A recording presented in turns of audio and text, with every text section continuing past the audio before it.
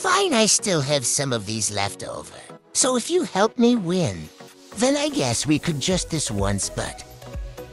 But you can't tell anyone got it. A few moments later. You're looking kind of flustered, Gwen.